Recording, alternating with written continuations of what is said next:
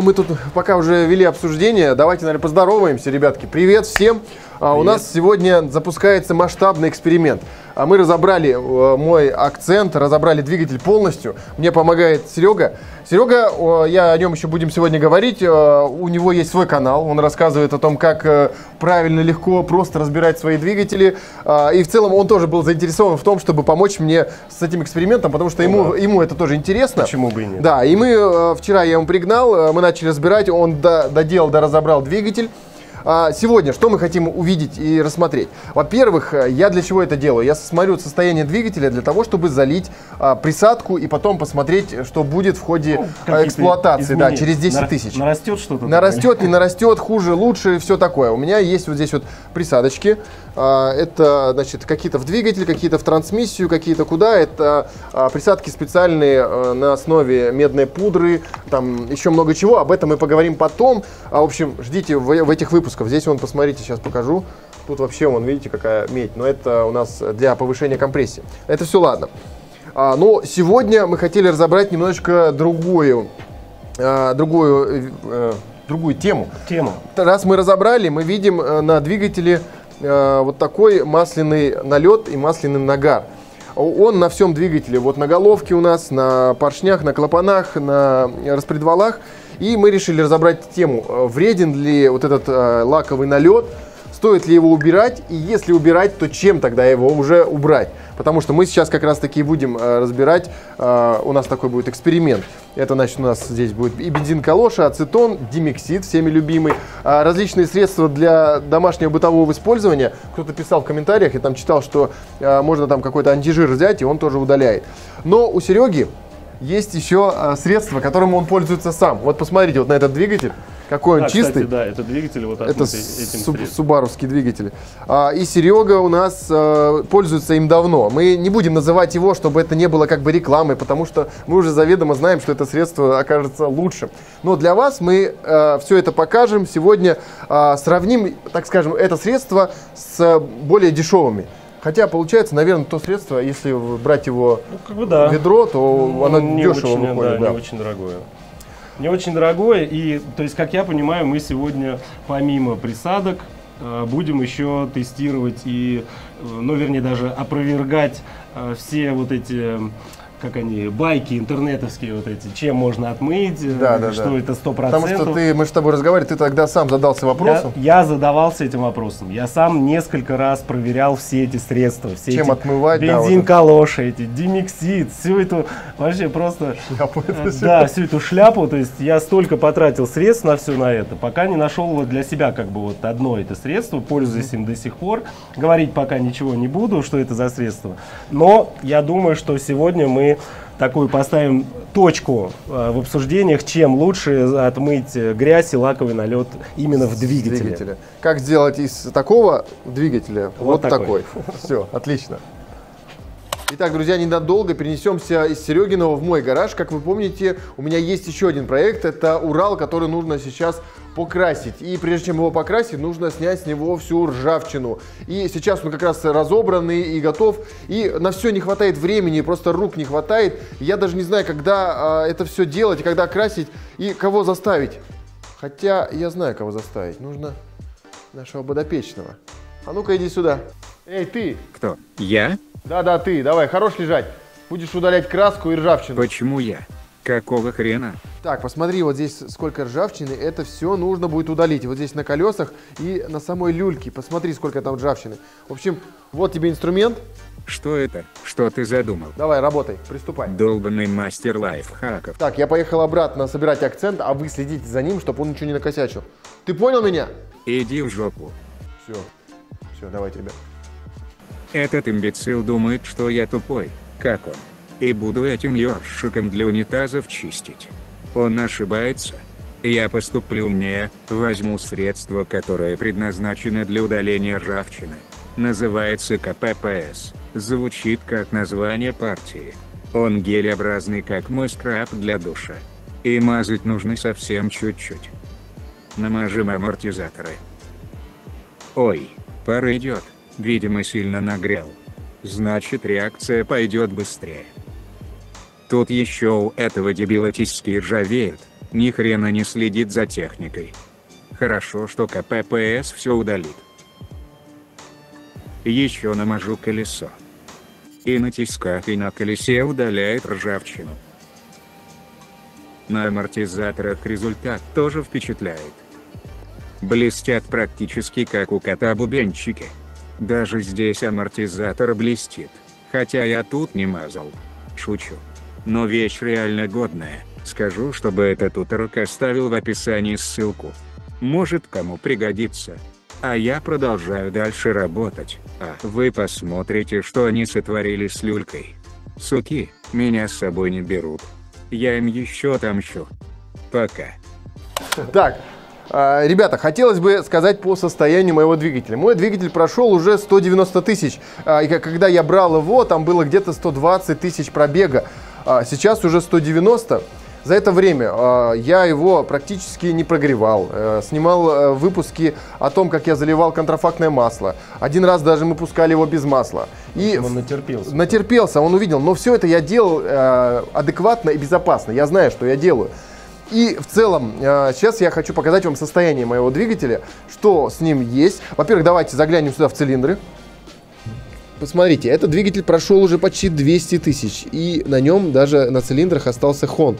То есть он не стертый. То есть зеркала здесь как такового нет. Есть э, такие продольные полосы, но хон остался. То есть, получается, это говорит о э, нормальном, адекватном износе. Э, я так скажу, что я с двигателем относился хорошо, я менял масло чаще положенного и никогда не перегревал. И все цилиндры в отличном состоянии. Хон остался. Что касаемо других пар трения, а, что касаемо, значит, поршней, э, колец, а, кольца, они уже немножечко, ну вот мы посмотрели, что маслосъемные кольца немножечко уже подстерлись, но в целом э, компрессионные кольца нормальные. Первое и второе, нет никакого такого критического износа. За 200 тысяч это прекрасно. А, юбка поршня, посмотрите, в отличном состоянии. Полосы есть, но нет задиров. Да и в целом вообще поршни в хорошем состоянии. То есть мы проанализировали все четыре поршня. Далее давай посмотрим сюда на распредвалах. Э, толкатели клапана на распредвале, вот этот вот э, пик, он в отличном состоянии. А, небольшой есть такой слабенький износ у нас э, вот здесь вот в местах, где он вращается распредвал, но это ни о чем не говорит, он никуда не денется. А, гидротолкатели у нас тоже в отличном состоянии. А, один мы там заметили, вот это, по-моему, он немножко слабенький. Да, немного, немного слабый, остальные все это, в отличном состоянии. А, гидрокомпенсаторы у меня иногда подстукивали. А, далее, по вкладышам у нас, мы посмотрели вкладыши коренные, а, в отличном состоянии, все закрутили, мы коленвал не снимали. А, по вкладышам э, шатунным, смотрите, есть э, полосы такие вот продольные, но нет задиров. То есть мы пальцем э, анализировали, как ногтеметром. Ногтеметром. Мой ногтеметр настроен на три сотки. На три сотки. Не цепляется. Да, да, да, мы проговорили. Если не цепляется ногтем, значит три сотки есть, не критично. То есть в целом мы увидели, ты хочешь что сказать? Я хочу сказать о том, что что не очень хорошего я увидел. А, вот это да, давай посмотрим. Это вот это расположение колец.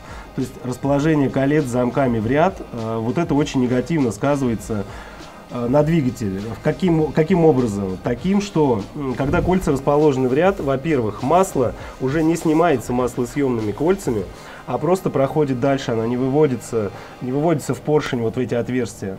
Плюс э, поршневые кольца компрессионные тоже стояли в ряд.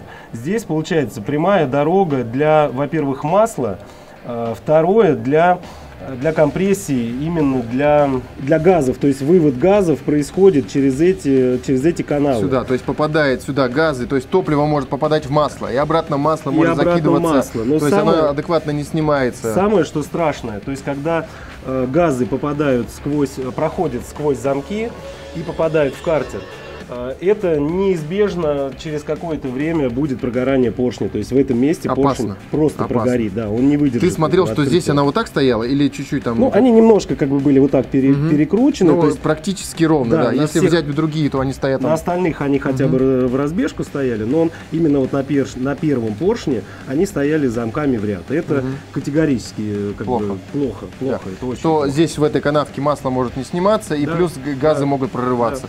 Я думаю, что даже если какой-то масложор там был на этом двигателе, то первая причина это вот. Вот из-за этого, это да? вот, да. То есть, э, Но вы можете это увидеть только после полного разбора, после того, как вы разберете. конечно, не увидишь, когда поршень когда- в цилиндре, как Так, и тем более вы провернуть не можете. Да, да. Итак, что я хотел сказать после всего вот этого, после увиденного вами сейчас.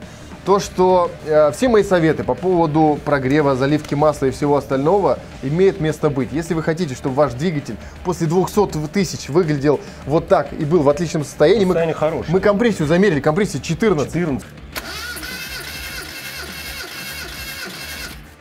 Ну, почти 14 тоже, 13,7. Я ничего не заливал Четырех, никогда, я да. просто менял масло. Да. Что, если вы хотите, то слушайте мои советы, я знаю, что говорить. Дядя Витя знает, что говорит. Начнем. Начнем. Начнем. Значит, что у нас? Э, пока сейчас это все мы разобрали, потом это будет все собираться и ставиться в том же состоянии, это ладно, это все мы потом об этом поговорим в другом выпуске. Сейчас мы хотим проверить все-таки и очистить э, двигатель, все э, то, что будет внутри. Смотрите, ребят, э, очень часто, когда вы поднимаете вот эту крышку маслозаливной горловины, видно э, лаковый налет на этой крышке. А, И сразу что, вот первое, у людей всегда вопрос, а что, типа, нужно мыть двигатель, а, заливать какую-то присадку или что, то есть а, хорошо это или плохо? Я так скажу, вот, то есть мое мнение о том, что а, лаковый налет, он не вредит двигателю вообще никак. Не только мое мнение, это мнение как бы многих экспертов Да, он и всего. лаковый налет нет. Он не вредит вообще никак двигателю, э, он даже как бы, ну что он может? Только что на теплоотвод, возможно, Да, от да. деталей, может Ну, быть. максимум. То, есть лаковый налет, который есть на всех деталях, он не вреден вообще никак. Он не вредит ничему на цепях, там, на, на поршнях. Но при разборе двигателя э, люди всегда обращают внимание на то, что вот двигатель чистый. То есть людям хочется, чтобы двигатель был чистый. В целом, как бы это нормальное желание, как бы, как бы Ну, чистоплотность. конечно, да. Что человек Ну, хочет, чтобы да, и, и собирать приятнее. Вот Серега э, как бы приверженец того, чтобы собирать двигатель, чтобы он был чистый. Поэтому он искал то самое средство. Конечно, во-первых, почему? Потому что все равно ты пользуешься какими-то герметиками. То есть та поверхность должна быть чистая, обезжиренная, для того, чтобы этот герметик работал так, как нужно. Это там даже с герметиками, плюс какие-то средства. Ну, в любом случае, да и просто приятно собирать его, когда он чистый. Потому что, как правило, разбираю я всегда в перчатках, а собираю уже без перчаток. Но за- а, лаковый налет может быть не так страшен, как то, что идет после лакового налета. Это вот эти вот отложения. Вот эти отложения, которые в конечном итоге превращаются в такой, так скажем, Абразив. абразив. Да. это уже, вот это уже не смешно. Вот это уже попадает вместе с маслом во все каналы, и после этого можно заметить вот эти вот царапины. Вот он. Вот, то есть вот это происходит после лакового. Если потрогать руками, он как Ну, песок не совсем лаково, а именно вот эти отложения. Это, скорее Ну, всего, да, какой-то это- это абразив. отла- либо нагар от масла. масла. Нагар масла, да, Да, да, либо, может да. быть, уже а, износ какой-то, где-то что-то от- э, оттерлось, и где-то вот этим порошочком оно откладывается. И она, как правило, откладывается вот в эти вот а, раковины. Раковинки, Да, которые, да. где Там, масло. где не на, омывается на- сильно. на дне лежит оно, да, и оно в любом случае когда-то может подняться и попасть вот в эти Конечно, масляные канальцы. конечно. А масляные каналы мы сейчас будем показывать, кое-где бывает очень-очень-очень тоненькие. Очень. Да, и туда, если она забьется, то все, это будет Как бы, да, это голодание. негативно скажется на работу двигателя в любом случае. Итак, приступаем к эксперименту. Для начала нагреем испытуемую поверхность для лучшей реакции. Вот хорошо, что у Сереги есть специальная ванна, приспособленная для мойки деталей. В нее можно подавать и бензин, и воду, так что она отмоет отлично. Разделим мы головку на несколько частей и в разные раковины будем заливать разные средства. Для начала попробуем бензин. Ну, в целом отмывает слабо. Он удалил только верхний слой, далее керосин. Эффект примерно такой же, как от бензина. Ацетон тоже никакого эффекта. Ну, кстати, я и не сомневался. Ребят, ну, серьезно, ацетон, если так прям разобраться, Да вообще ничего. ничего. Вот даже э, керосин и бензин вот здесь отмыло вот эти части, вот здесь, а здесь ацетон не а, вообще не взял. Только, только вонище от него. И все. Далее димексид. Так как димексид нужно постоянно разогревать, мы подогрели распредвал и нанесли теплый димексид. Но ничего не происходило.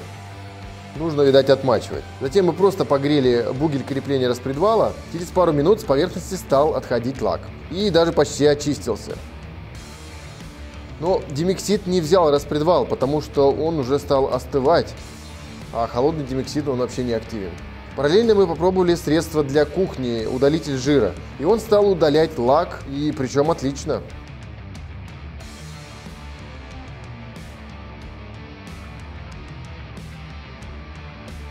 Затем мы попробовали проделать то же самое на головке. Побрызгали это средство Азелит.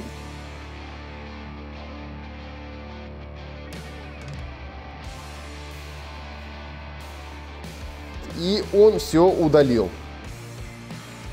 Затем Серега развел свое средство для мойки, которым он всегда пользуется, и забрызгал одну из раковин. Параллельно я нанес азелит и постараемся ни то, ни другое не тереть щеткой. Теперь пробуем все смыть. Целом наше секретное средство все отмыло, но есть небольшие отложения. Нужно будет потереть щеткой и нанести еще раз. Тем временем там, где нанесли азелит, все легко очищалось с помощью воды. И причем даже отложения просто смывались водой. Ну а на том месте, где мы нанесли Серегиным средством, потерли щеткой и не нанесли еще раз. Смываем и все удалилось. А, констатируем эффект. Значит, у нас что? Здесь у нас э, нанесено наше средство, средство для мойки. А, здесь у нас, мы когда забрызгивали, скорее всего, она тоже здесь попала. Но пер, первоначально мы сбрызгивали азелитом. Вот эту часть мы сбрызгивали также азелитом. Видать, передержали, она тоже потемнел. Видите, алюминий потемнел. Если здесь он светлый алюминий, тут потемнел. Скорее всего, что-то типа а, окислилось, наверное, или что такое. Вот. Ну и как бы все. В целом все очистило. Сейчас мы забрызгаем а, вот, да? Да, он, видишь, он такой, он его потом просто... А, его сейчас просто этот... Стираешь и все, он цвет Все, и опять цвет возвращается, да? А, ну да, вот, смотри, видишь? Это просто какой-то вот э, верхний слой он окисляет. Далее мы решили провести следующий эксперимент. Возьмем поршни с шатунами и нанесем три наших лидирующих средства. Димексид, азелит и наш очиститель для мойки. Для димексида пришлось найти ванночку, нагреть поршень, нагреть сам димексид и заливать. Это, к слову, не очень удобно. На второй поршень нанесли азелит, а на остальные поршни средства для мойки.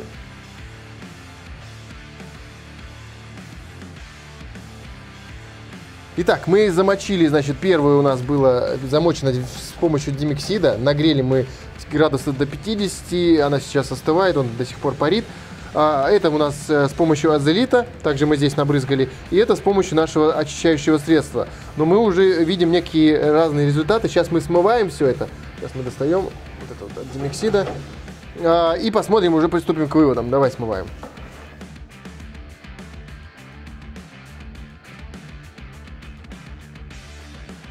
Итак, ребята, наш вердикт. А, мы, значит, первый поршень у нас замочили в ванну с димексидом. Димексид отмывает. Хорошо, но с проблемами, потому что нам пришлось сделать ванну, да, да, а, да. подогревать, она воняла все это. А, что хорошо, оно отмыло весь, э, все углеродистые отложения сверху, видите, поршень чистый, а, раскоксовало все, но димексид хороший раскоксовка, все это знают.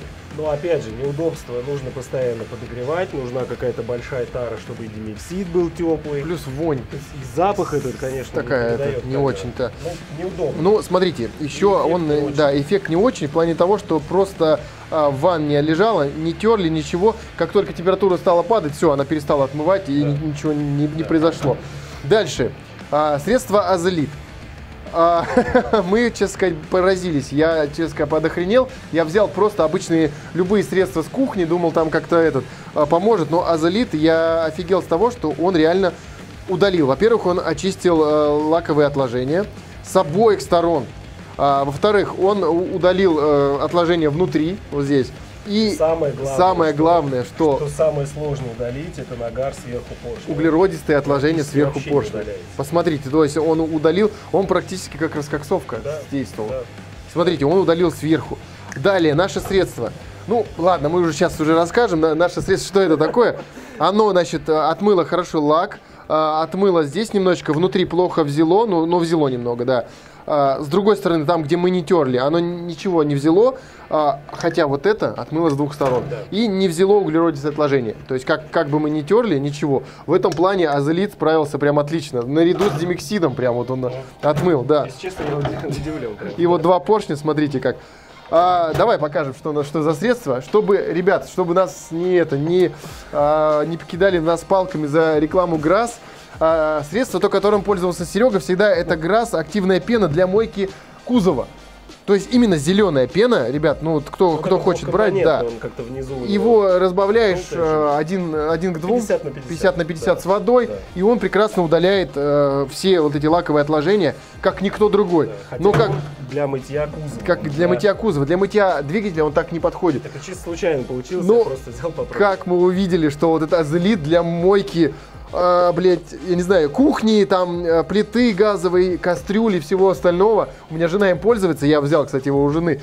Я жене позвонил, говорит, прикинь, он говорит, отмыл весь э, этот э, лаковый нагар. Она говорит, так такая дичь, говорит, она просто воняет, говорит, страшно, говорит, когда ты ее брызгаешь, там дышать нечем, она всегда вытяжку включает. Воняет демиксид. Э, и демиксид воняет. Но, посмотрите, он и можно даже пользоваться как раскоксовкой, вот так сверху туда брызгать и все. А да, он в принципе пенный, почему нет? Все, ребят, вывод сделан. А надо ли или не надо очищать, это дело каждого. А, напишите в комментариях, очищаете ли вы или нет лаковый нагар. А, мы показали, что лучше всего работает. Э, Димексид хорошо, но про- проблематично. все-таки азелит. Я, наверное, перейду на другое средство. Азелит. этого. Ты посмотри, что она делает, творит вообще. Чертяга. Серега всегда делал вот этим вот зеленым средством, он очищал всем двигатели. Э, И я, кстати, многим советовал э, такое делать, но теперь будем азелитом. Вот такие, друзья, у нас дела. А, мой, мы теперь, значит, что у нас предстоит? Отмоем все остальное, собираем двигатель и заливаем масло, и заливаем присадку. Но об этом я расскажу в следующем выпуске, так что подписывайтесь на канал, ставьте лайки, подписывайтесь на Серегу. А, Королевский авторемонт. вот так вот, да, вот такой у него канал, да. У него от- этот э, классный канал, он ремонтирует там двигатели, рассказывает, как просто отремонтирует, лайфхаки для ремонта, все остальное такое. Ну. Подписывайтесь на него, ссылочку я внизу оставлю, потому что Серега помогал нам тут. Вообще, он, д- он сейчас еще собирать ему это все предстоит. Я пока поеду другими делами а заниматься, да. Да, вот это все. Так что, ребят, обязательно поставьте лайк, подписывайтесь на Серегу, сюда подписывайтесь. Все, всем пока.